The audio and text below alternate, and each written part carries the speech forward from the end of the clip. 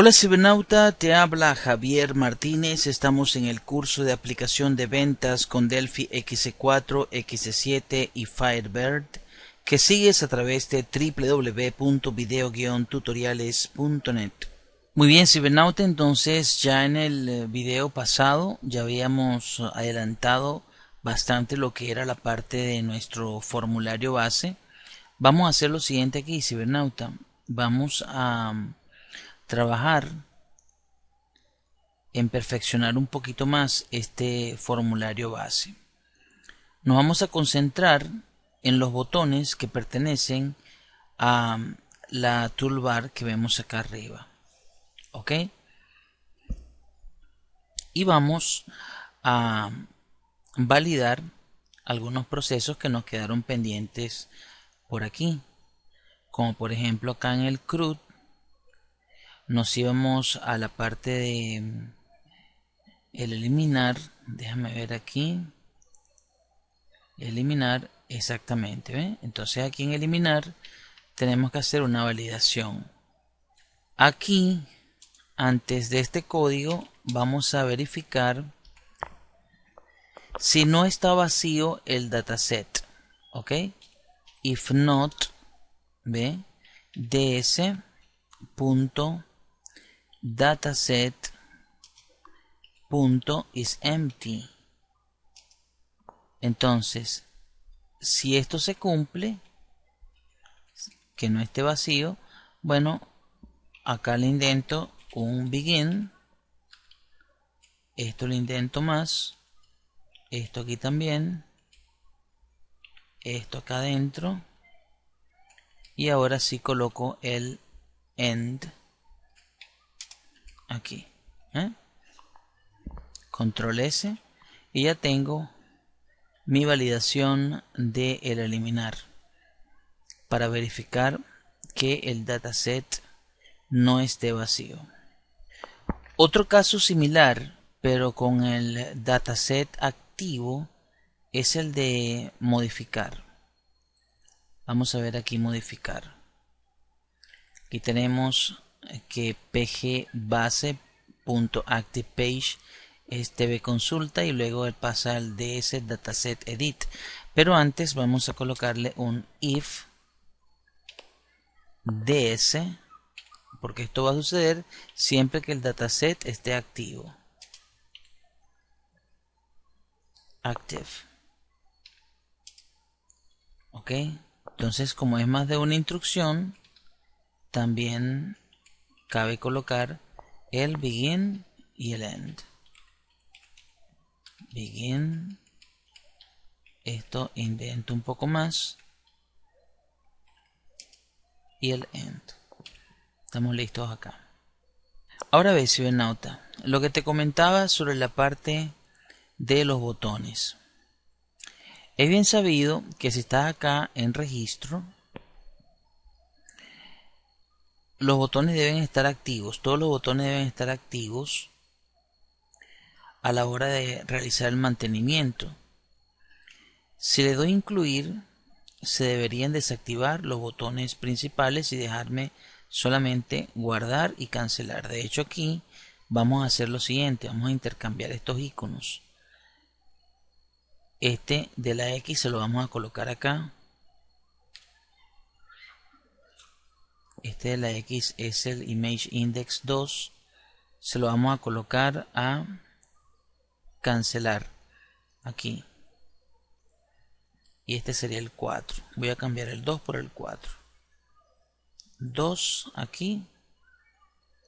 Y aquí sería 4 perfecto. Aquí lo tengo mejor. Más menos es decir, incluir, eliminar, modificar, buscar, imprimir, grabar, cancelar y salir. Entonces, como te comentaba, si le doy incluir, entonces me debería quedar activo nada más guardar y cancelar. Si le doy a cancelar, me debería activar nuevamente todos los botones. Si le doy a salir, debería salir. Entonces vamos a hacer algo vámonos acá a proyecto Vámonos a opciones, a formularios y vamos a colocar exactamente el formulario base como formulario de arranque, verificando allí. En estos momentos no está eso programado, ¿verdad? Pero si nos vamos aquí a la parte del action list y ubicamos aquí a incluir, aquí tenemos las propiedades y tenemos los eventos. Entonces ve, en el on execute él tiene el AC-incluir execute, que eso ya lo programamos. Pero aquí también está un onUpdate. Yo aquí en el onUpdate puedo utilizar cualquiera de estas acciones que tengo aquí previa. Pero para ello necesito colocar en primer lugar doble clic acá para programarlo. Nota aquí lo que vamos a hacer en el incluir update. Hace incluir update. Nos vamos a begin y hacemos lo siguiente. Vean. Hace la acción como tal incluir y luego le llamo aquí punto y voy a activar con enabled. Esto va a estar activado igual y le vamos a verificar el estado del dataset. ds punto dataset punto state y él tiene que estar activo en estos modos siguientes ¿ve? en ds inactive. Se va a activar cuando esté inactivo ok ds inactive o en ds browse.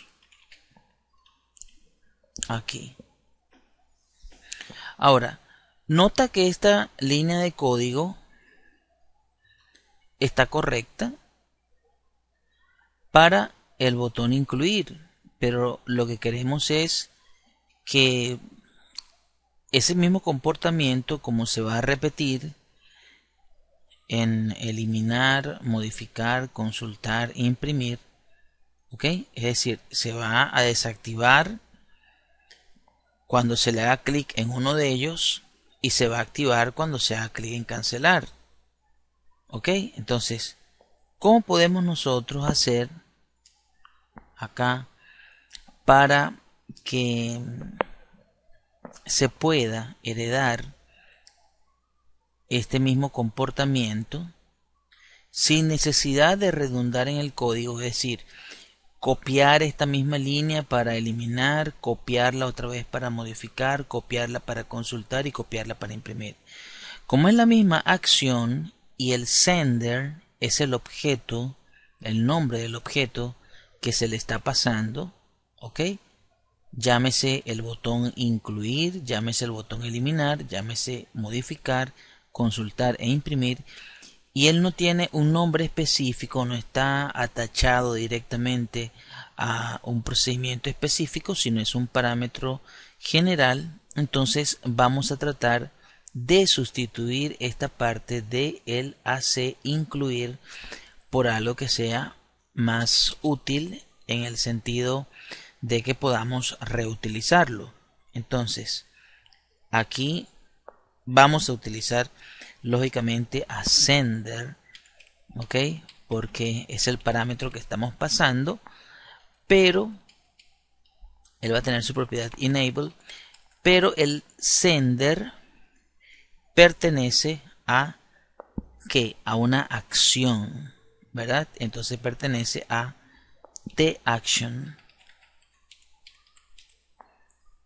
Entonces, date cuenta que si yo le digo aquí sender y le pongo punto enabled, él me lo coloca, ¿ve? Entonces, allí no hay ningún inconveniente.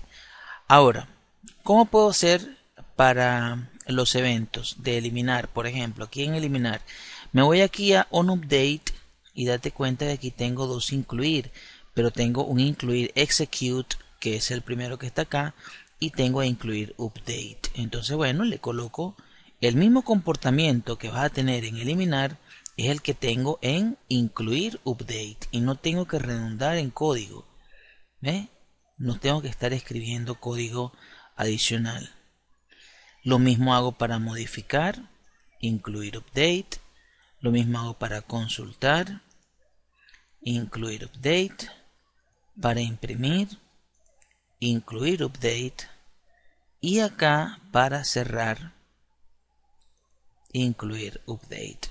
Los otros dos si van a tener grabar y cancelar van a tener otro comportamiento. Vamos entonces a cerrar aquí, vamos a guardar y probamos nuestro formulario. Ok, Cybernaut, entonces disculpa la pausa mm, por el ruido de los vecinos en la parte de abajo. Te pido disculpa, ok.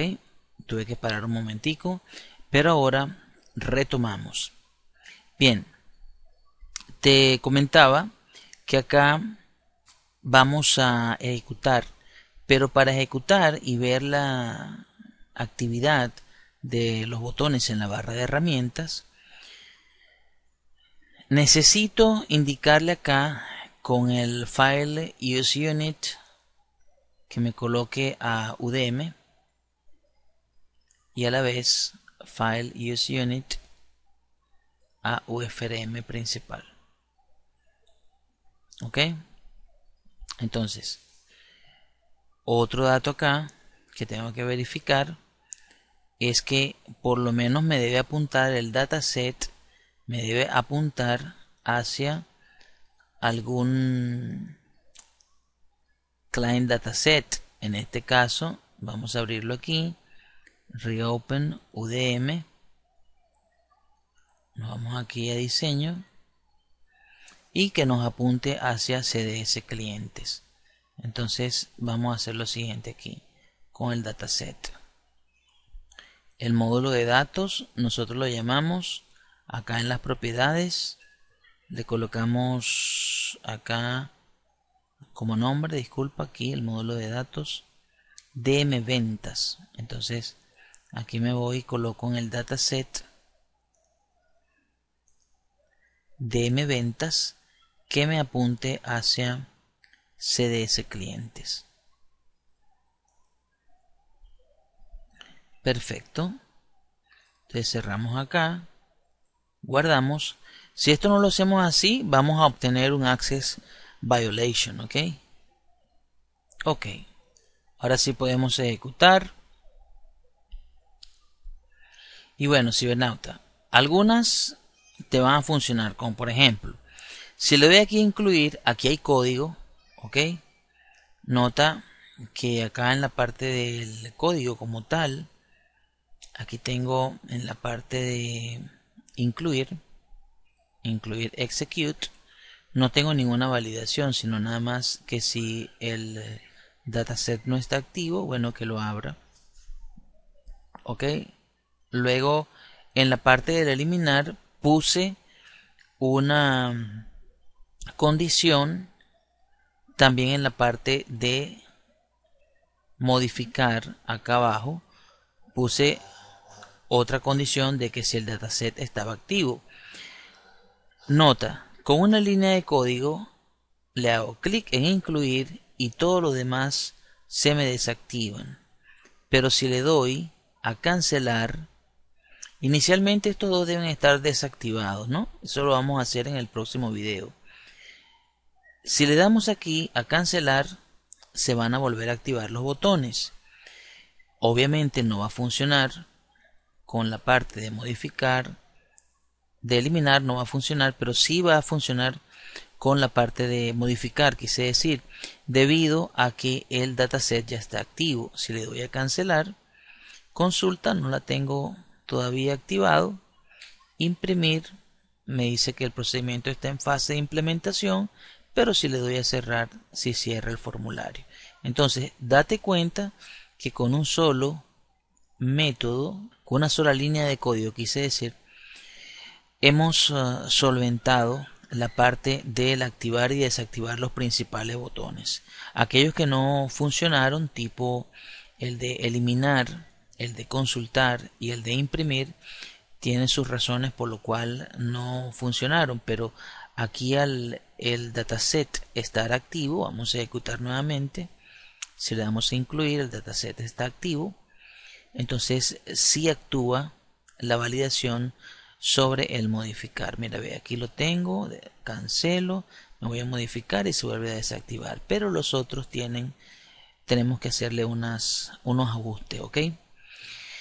Bien, entonces con esto hemos terminado el video número 21 y te espero en el video número 22 para seguir con el desarrollo de nuestra aplicación en Delphi XC4, XC7 y la base de datos Firebird.